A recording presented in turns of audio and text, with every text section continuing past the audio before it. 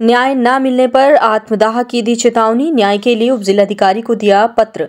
बता दें कि गाजीपुर ज़िले में जमानिया तहसील में, जहाँ महात्मा बुद्ध को भी शासन प्रशासन की वजह से चौदह महीने तक जेल की हवा खानी पड़ रही है, वहीं महात्मा बुद्ध के अनुयायी और अशोक सम्राट क्लब के लोग नाराज़ हैं। संगठन के महासचिव वीरेंद्र कुमार सिंह द्वारा ये बताया गया कि बबनपुर आराजी संख्या तीन उनके पूर्वजों की भूमि है, जहाँ उनके द्वारा महात्मा बुद्ध की प्रतिमा स्थापित की गई थी, जो कि शासन प्रशासन द्वारा पूर्व में हुए विवाद के कारण ले जाकर चौदह महीनों से थाने में रखी गई है और प्रमाणिकता के तौर पर उनके पास आराजी संख्या तीन मेरी पुस्तैनी भूमि है। उसके लिखित दस्तावेज़ उनके पास साक्ष्य के रूप में मेरे पास उपलब्ध हैं।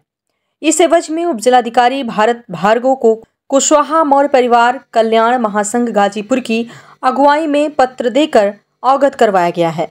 अगर फिर से महात्मा बुद्ध की प्रतिमा को पुनर्स्थापित नहीं कराया गया तो बौद्ध अनुयायियों के मान सम्मान को देखते हुए वे स्वयं बाध्य होकर तहसील परिसर में 15 मार्च को आत्मदाह करने के लिए बाध्य होंगे जिसकी पूरी ज़िम्मेदारी शासन प्रशासन की होगी।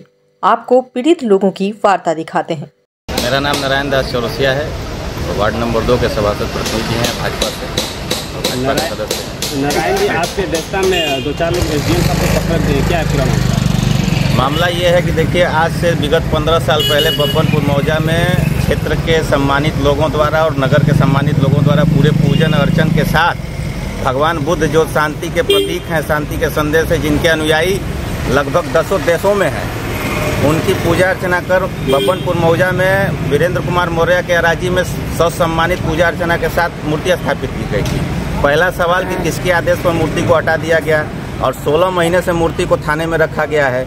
बार बार एसडीएम और उप जिलाधिकारी को जिलाधिकारी को शासन को प्रशासन को पत्रक दिया गया है कम से कम सैकड़ों पत्रक दिए गए हैं लेकिन उसका अभी तक कोई निष्कर्ष नहीं निकला है। प्रार्थी अब की बार उन्हें ये कसम खाया है कि 16 महीने से मैं घर नहीं गया हूँ।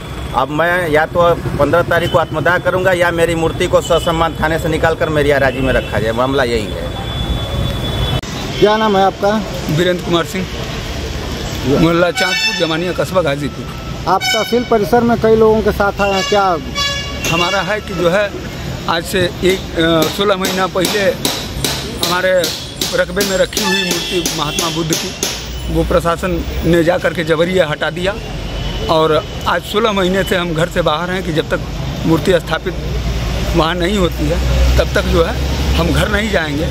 और दूसरी चीज़ ये रही कि आज मैंने पत्रक एक दिया है। किसको पत्रक दिया है? माननीय एसडीएम साहब को मैंने एक पत्रक दिया है। तो एसडीएम साहब का क्या आश्वासन मिला आपको? आश्वासन में तो उनका कोई आश्वासन नहीं मिला जो हम पत्रक दिया है। पंद्रह तारीख को पंद्रह मार्च को हमने आत्मदाह का एक पत्रक दिया है कि जब हमारे हमारी आस्थाओं को ठेस पहुँच रहा है हमारे समाज के लोगों को ठेस पहुँच रहा है हम तो हमारे जीने से कोई जो है हक नहीं है अब हमको जो है आत्मदाह तो एम साहब के क- वो से संतुष्ट नहीं है आप? एस डी एम साहब माननीय एस डी एम साहब से हम संतुष्ट नहीं है। माननीय एस डी एम साहब हमको जो है हिला हवाली करते हुए जो है वो बीच में तकरीबन कई बार हमको ये किए लेकिन अभी आज तक मूर्ति स्थापित नहीं करा पाए।